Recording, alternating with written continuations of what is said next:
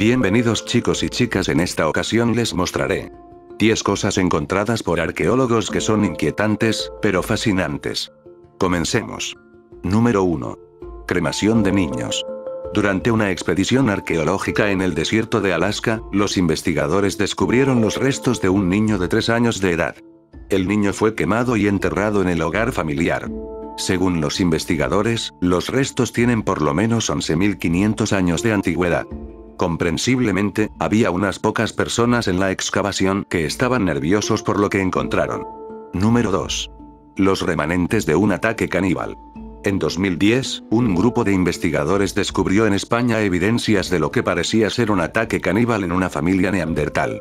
Los arqueólogos descubrieron los huesos de tres hembras adultas, tres varones adultos, tres adolescentes, dos niños y un bebé. Todos los huesos presentaban signos de haber sido roídos y masticados. Una manera desagradable de morir. Número 3. Los vikingos sin cabeza. Los trabajadores del ferrocarril en el condado de Dorset, Inglaterra, descubrieron algo horripilante cuando estaban excavando. Un pequeño grupo de guerreros vikingos sin cabeza estaban enterrados allí mismo. Al principio, los investigadores creían que los pobladores locales podrían haber tomado su venganza asaltando una fiesta vikinga. Al seguir con las investigaciones, se dieron cuenta de que las decapitaciones eran demasiado limpias, y que parecen haberse hecho de frente en vez de por la espalda. Nadie está muy seguro de lo que pasó aquí. Número 4. Garra de un Outland Moa. En 1986, dentro de un enorme sistema de cuevas en el monte Owen, de Nueva Zelanda, los arqueólogos se encontraron con esta garra, muy bien conservada y aterradora. Cuando llevaron la garra al laboratorio y pudieron analizarla, determinaron que pertenecía a un ave prehistórica gigante conocido como Upland Moa. Estoy muy contento de que las garras de esa ave gigante se hayan extinguido, dan un poco de miedo. Número 5. Cráneos empalados.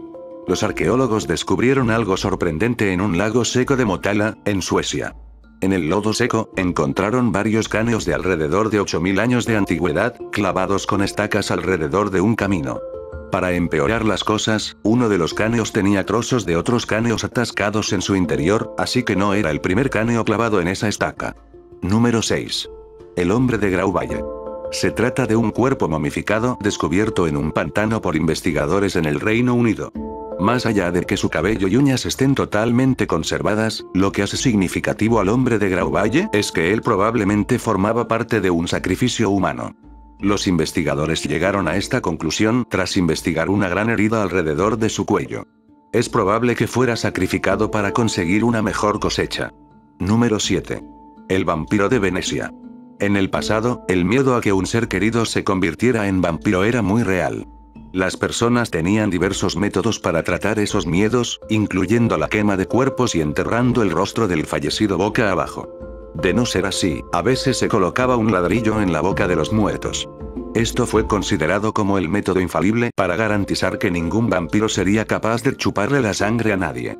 El cráneo que vemos en la foto se encontró con un ladrillo en la boca en una fosa común fuera de Venecia, en Italia. Número 8. El primer leproso del mundo. A pesar de que la lepra no es muy contagiosa, esta enfermedad sí ha sido estigmatizada a lo largo de la historia humana. Durante un estudio arqueológico en la India, los investigadores encontraron un esqueleto de 4.000 años de edad, que creen que es la evidencia más antigua de la lepra. La tradición hindú dicta que el muerto debe ser incinerado.